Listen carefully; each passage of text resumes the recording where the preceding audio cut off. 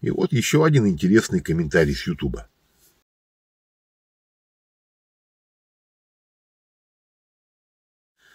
Действительно, все разговоры про секс обычно сводятся к обсуждению того, какого размера должен быть у мужчины половой член и сколько времени должен длиться половой акт, чтобы женщина получила удовольствие. Ну и еще к упрекам в сторону мужчин, что они не уделяют достаточно внимания предварительным ласкам и не знают, где у женщины находится клитор. То есть, по мнению женщин, мужчина должен сначала женщину уговорить, а потом удовлетворить. Понятно, что женщинам такая постановка вопроса очень нравится, потому что им самим ничего не приходится делать. Но вот только мужчине это зачем? Я считаю, что если женщину приходится уговаривать, то беспокоиться о том, получила ли она удовольствие от секса, вообще не надо. Если женщина не хотела заниматься сексом с мужчиной, то значит она согласилась за какое-то вознаграждение. И тут, кроме оплаты, она хочет получить еще и удовольствие от процесса.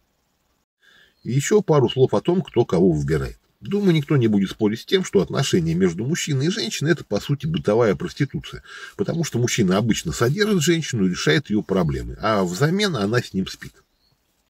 Но когда вы покупаете проститутку, вы же сначала просите показать вам всех, ну или просматриваете все анкеты индивидуалок на специализированном сайте. То есть вы выбираете из нескольких женщин. Может ли проститутка или индивидуалка отказаться от клиента? Да, может. Это ее право.